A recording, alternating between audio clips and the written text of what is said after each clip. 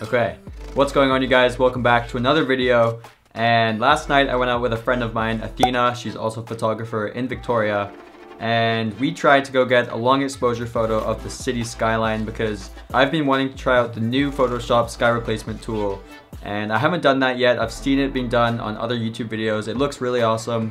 But yeah, I tried to get a long exposure photo for that tutorial and two things. Last night it started raining. Okay, so it's starting to rain now and the water is actually like landing on my lens, the glass of the lens because I didn't bring my, my lens hood, which was dumb. But it's ruining the long exposures because like when you expose the sensor for that long, all the, the water droplets on the lens just kind of blow up and ruin the photo. So, and I didn't have my lens hood with me, so the water got onto the lens and the droplets just in the long exposure photo, I'll just throw it up. The photo is so bad it's shite, but the water got onto the lens, I couldn't get it off, and those droplets just blew up in the photo, so I couldn't use it.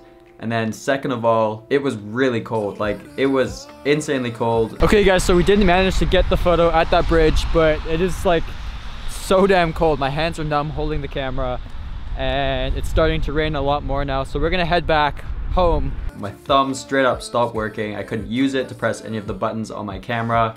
So I just decided, screw this, let's just go home and I will find another photo to work with. So that's what I've done. I've pulled up a photo I took quite a while ago. It's probably my favorite photo I've ever taken, but we're gonna throw this into Photoshop and then we'll try and figure out how to use the sky replacement tool together. So I've opened up this photo in Photoshop here and yeah, it's the, the photo with the light trails on the car. I love this photo, but now we have to find the actual sky replacement tool and I think it's under edit, sky replacement, here we go. So yeah, that's all you do. Is it gonna load it up? Wow. Wow, that's actually crazy. So all you have to do is go edit, sky replacement, and then it'll instantly load up that photo. It'll automatically detect the sky and then throw in a new sky for you. So I'm, I'm assuming you can go through here and decide. Wow, wow. Wow. Do they have any night ones? Sunset. Okay, so they have blue skies, spectacular, and sunsets. So let's go ahead and pick one here. This is crazy. It automatically detects your sky and then just replaces it for you. And then there's a few settings here you can make. Shift edge makes it a little Okay, so the edge will kind of overlap into the trees there. That is insane. Brightness. Oh, we can bring that down a little bit. Bring it up like that. That looks pretty good right there. Temperature, cool it down.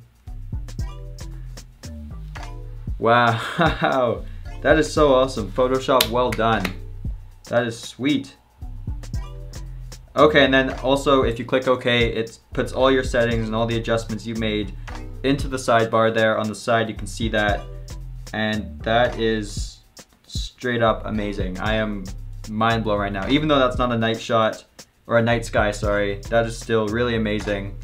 Um, I wish they had night skies with stars and stuff. That would be really cool, but there you guys have it. That's basically how you use the new Photoshop sky replacement tool. It's really, really easy. They've made it really simple and then afterwards when you've clicked OK it moves all of the adjustments you made into the layer tab which is really helpful. So you can see what you've done. You can you can adjust it if you want to.